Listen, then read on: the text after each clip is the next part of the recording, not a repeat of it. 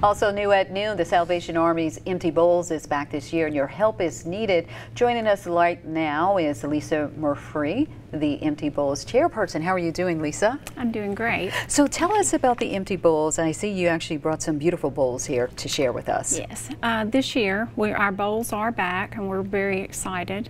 Um, it's going to be uh, March the 1st from 11 to 1. And whenever you come, you get a bowl of soup that's donated by area restaurants. So you get your uh, soup, you get bread, you get water, and then you also get a handmade pottery bowl. And these bowls are supposed to represent the empty bowl, the fact that there are so many hungry in our area that don't have a meal.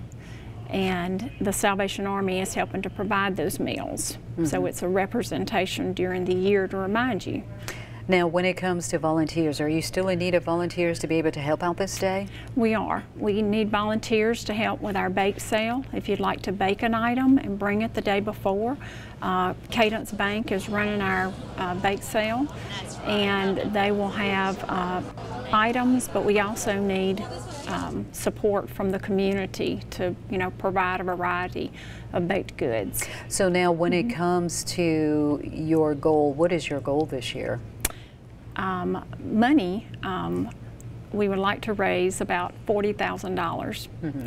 um, we have, um, our Salvation Army right now is feeding over 1,100 meals a week at our community center.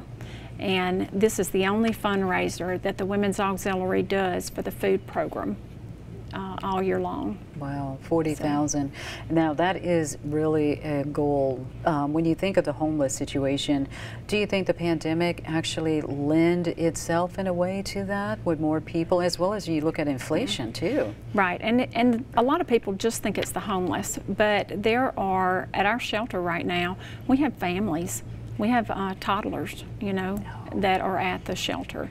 Um, and then you have seniors, and then you have people that are on limited incomes. And they just, their budget just does not stretch. So they can go to the Salvation Army at lunch or at supper and get a hot meal. Mm -hmm. And so we're providing a need in the community, not only to the homeless, but to other people. Right. And yeah. Lisa, thank you so much for all that you're doing. And we do have the number up for people if they want to get tickets. That number is 662 213 7596. Thank yes. you so much for joining us to tell us about this critical need. Thank you very much. Still to come on WTVA.